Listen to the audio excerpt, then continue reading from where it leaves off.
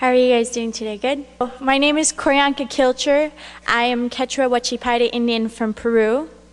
And uh, there are many similarities our indigenous tribes share in regard, regards to our culture and our struggles, even though that our tribes are thousands of miles apart from each other. Today, I want to highlight the importance indigenous issues have to all of us as humanity. Traditionally, indigenous peoples around the world have lived in harmony with Mother Earth, and their lifestyles are based on environmentally sustainable principles and practices without exploiting and destroying their children's future.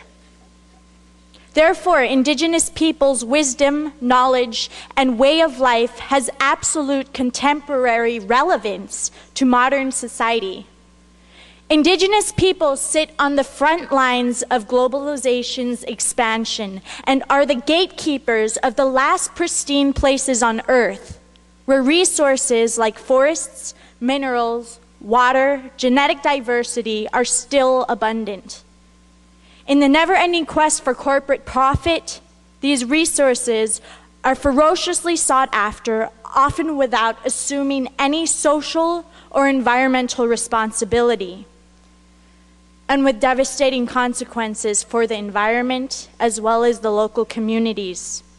Projects that exploit their lands, natural resources, and cultures are often not done with their consent. Their sustainable ways of de developing natural resources are being dismissed, and ecosystems, their ecosystems are being polluted. Therefore, we all need to honor and support indigenous people's struggle as they are the frontline soldiers and they're the gatekeepers. Indigenous people have traditional land claims for 18 to 24 percent of the Earth's land surface. Indigenous territories overlap remaining biodiverse hotspots, and Indigenous peoples inhabit over 85 percent of protected areas, 85%. So you see, that's why indigenous peoples need the world's solidarity and support now more than ever before to defend these land claims so they can hold them in trust for all the world's unborn generations.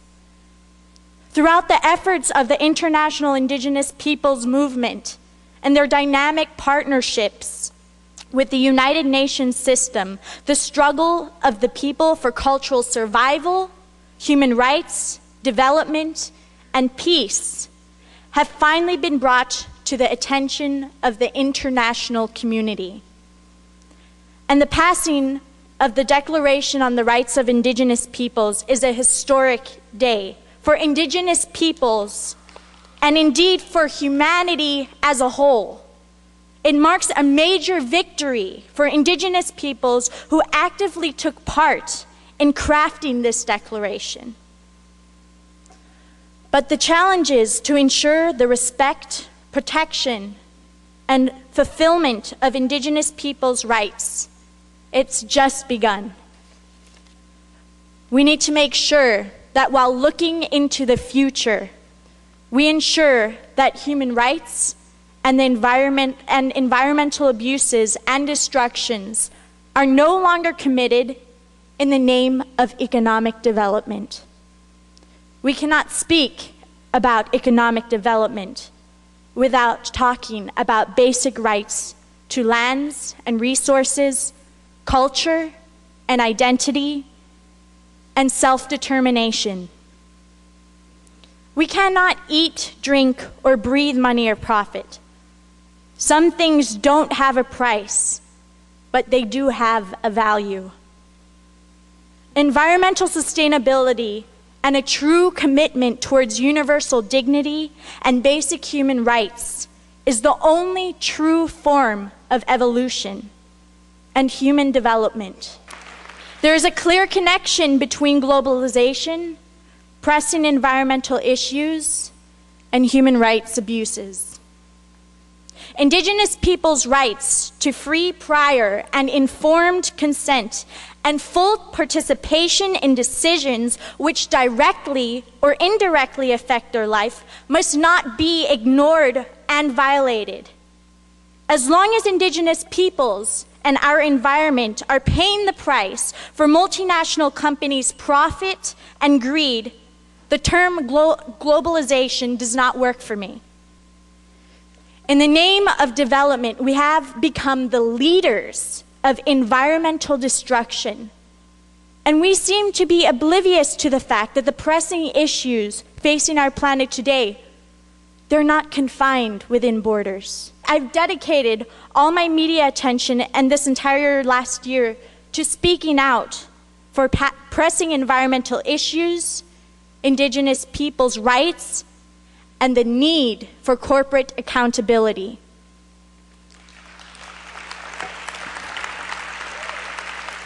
It is time that we ask ourselves how do we have to be in order to see the world we want to see? It is time that we make sure that pressing environmental issues don't suffer because of politics and greed. We have to stay true and humble in, into what it really is going to take to protect and respect Mother Earth. I ask myself, why does it seem that our relationship with the environment is seen as an obstacle to progress rather than a necessity to progress? And why are we so readily willing to scrutinize things which are profitable to humanity as a whole, whereas ideas that have benefit only to a small entity or group often seem to be assumed by many as more legitimate?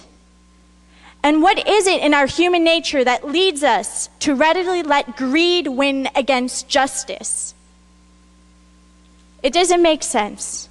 As a young person, I'm still trying to wrap my head around eco minded, material privileged carbon sinners who try to neutralize their environmental footprints by indulging in the carbon offset business like it's like mad diet pills for extravagant consumption. really.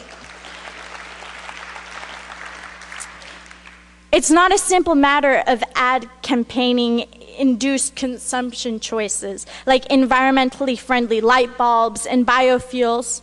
We cannot just swallow an anti carbon pill and continue to rape Mother Earth. The multimedia campaign against global warming is causing a climate of intimidation and fear, benefiting again from profit driven investors and corporations who are looking to turn the demand for green products into green money. The Western world's growing demand for mega production of biofuels is already causing serious damage. Some of our biofuels are far far from being sustainable. And again, in the name of consumption, consumer demand, and corporate greed, we are compromising biodiversity and fueling human rights violations.